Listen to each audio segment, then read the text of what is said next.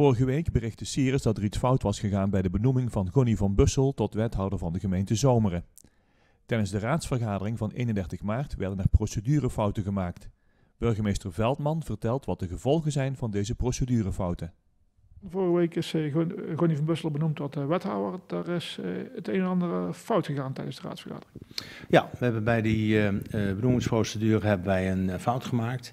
Er had gestemd moeten worden door de raadsleden over de benoeming van mevrouw van Bussel. En dat is dus niet gebeurd. En dat is een fout in de procedure. En we willen gewoon dat de procedure goed gaat. Dus we hebben gewoon gezegd, wij gaan het overdoen. Ja. De hele raadsvergadering?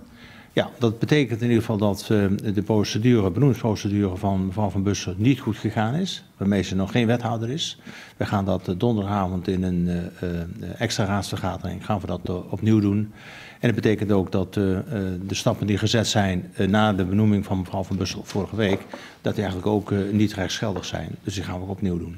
Dat betekent dus dat wij in de raadsvergadering van donderdag, die zal om half acht zijn, dat wij de agendapunten opnieuw gaan behandelen. Dat betekent dus ook dat de benoeming van mevrouw Van Bussel opnieuw zal gebeuren. En ook eh, de benoeming van eh, de heer Evers als eh, raadslid, dat die ook opnieuw zal, zal gebeuren. Dus eigenlijk alle besluiten die die avond genomen, worden, genomen zijn, die worden nu opnieuw genomen. Daar hebben we afspraken over gemaakt met de fractievoorzitters. Ehm, even terug naar afgelopen donderdag. Is dat dan een complete blackout van, van verschillende mensen samen? Ja, uh, je kunt het noemen zoals je het wilt. Uh, we hebben gewoon iets vergeten, wat heel essentieel was. Ik ben het vergeten te doen. Niemand heeft mij er ook op uh, opmerkzaam gemaakt. Die geveer niet. Opmerkelijk. Ja, dat is nee, heel, op, heel opvallend. Ik bedoel, ik voel me daar verantwoordelijk voor dat het fout gegaan is. Maar normaal gaat alles vaker wat fout in een raadsvergadering. En dan steekt iemand zijn vinger op bij spreken van... Goh, we doen iets niet goed of vergeten iets. Dat is niet gebeurd. Niemand heeft er iets van gezegd. Uh, totaal niemand. Pas na de vergadering kwamen die geluiden op van er is iets vergeten. Ja. En dat gaan we nu rechtzetten. Eh, daarna hoorde ik de mensen zeggen, ja, ik dacht het wel dat het zo moest, maar ik durfde de burgemeester niet in de reden vallen. Dan denk ik, nou, er is toch niet zo'n cultuur dat dat niet mag. Nee, dan denk ik bij mezelf van, nou, uh, kijk, het is voor iemand van de tribune natuurlijk uh, wat moeilijk om dat te, te doen. Maar als het iemand anders was geweest, had er gewoon even naar me toe kunnen gaan, uh, bij wijze van spreken, of via de bodem, wat dan ook maar. Want je kunt het beter natuurlijk onmiddellijk corrigeren in de vergadering zelf, dan als je het erna doet. Maar goed, het had niet mogen... Ben je er dan boos over of niet? Of, of teleurgesteld? Of? Nee, daar ben ik niet boos over. Hè. Ik bedoel, ik, ik betreur het heel erg dat het gebeurd is, laat ik zo zeggen. Want ik vind uh, procedures en, en uh, raadsvergaderingen moeten goed gaan. Zeker als het ook gaat om mensen. En zeker in dit geval, wij gaan een nieuwe wethouder benoemen. Uh, en dat is toch altijd een feestelijke gebeurtenis. Dus ik heb ook bij mevrouw Van Bussel verontschuldigd gezegd van nou, dat we het heel erg vinden dat het zo gegaan is. Mm. En dat we dus komende donderdag opnieuw gaan doen. Je hebt wel een weekend over laten gaan om zeker te weten wat er allemaal goed aan fout ging? Ja, uiteraard. Dat hebben we goed nagezocht. Hè. De volgende dag toen we die geluiden opvingen, hebben we het eerst hier juridisch zelf in het gemeentehuis bekeken.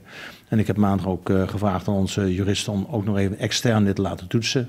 En we komen gewoon tot de conclusie dat uh, die stap, uh, stemmen, hoofdelijke stemming, met briefjes, dat die had moeten gebeuren. Want kijk, als je gewoon naar de inhoud van het besluit kijkt, dan heeft niemand daar problemen mee. Ja, uh, wat er gebeurd is, de geloofsbrieven van mevrouw Van Bussen zijn onderzocht door een commissie. Dat was prima in orde. Uh, daarna had er gestemd moeten worden, dat is niet gebeurd. Daarna is uh, de, de, belofte afgelegd, dat is ook goed gebeurd. En daarna heeft ook iedere fractie haar gefeliciteerd met de benoeming. Iedereen was het met die benoeming dus eens. En daarna heeft zij zelf ook de benoeming aanvaard door zelf de raad te bedanken met het gestelde vertrouwen en daar nog wat woorden aan toegevoegd. Dus dat is allemaal goed gebeurd. Het is ook allemaal gebeurd zoals de raad het, het wilde, althans inhoudelijk. Alleen in die, in die procedure heeft die stemming niet plaatsgevonden en die is wel verplicht. Dus burgemeester, er zijn verder verwijten naar niemand toe? Nee, je, je kunt alleen jezelf wat verwijten. Het is gewoon niet goed gegaan. Het heeft ook geen zin om mensen verwijten te maken. We moeten gewoon constateren dat het niet goed gegaan is. En dat is uh, in het bijzonder sneu voor mevrouw Van Bussel. En uh, ik hoop in ieder geval dat we dat, uh, of dat gaan we nu donderdag rechtzetten. En daarna dan gaat zij gewoon aan het werk als wethouder. En dat geldt, hetzelfde geldt voor meneer Evers. Die wordt dus ook een week later benoemd. Een heel bijzondere benoeming voor mevrouw Van Bussel. Zal ze nooit meer vergeten. Nee, dit, ik denk dat er weinig mensen zijn die dit zullen vergeten. Ja.